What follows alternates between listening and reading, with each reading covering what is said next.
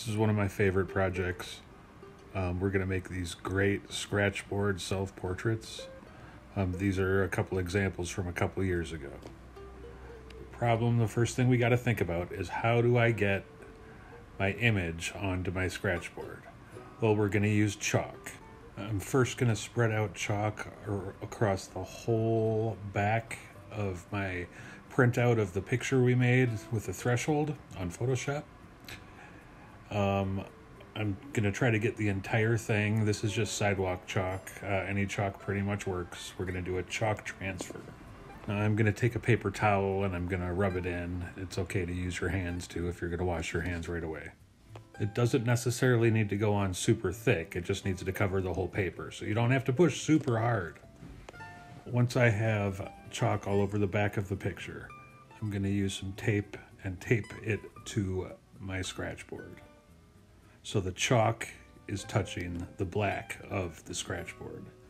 Now using a pen or pencil, I am going to trace the entire picture, every shape on it. Don't get overwhelmed, it won't take that long. Now when you use your pencil across the lines and trace the shapes, the chalk you had on the back is going to come off and all the shapes you are making are going to be transferred onto the scratch board. Take your time with this. It is okay to peek sometimes, um, as long as you have the tape at the top, so the paper stays where it's supposed to be. Now, get the background too.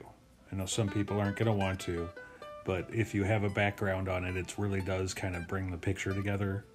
Even, uh, you know, if, like in my beard, there's tons of tiny little, little, little spots um, of black. I'm not going to trace every tiny little one. Um, so you you know you can change some little things, but keep it mostly the same. Use the same shapes that are in the printout. This will make your pose come out. This will make it really look like you when it's done. So a little bit of extra time at this spot, and you'll really be happy with what you have. So yeah, when you're done, you can lift up your paper and all of the lines that I traced will be transferred right onto the paper and I will get my shapes out. Next thing we're going to do is we're going to scratch the light. The light in the paper is the white.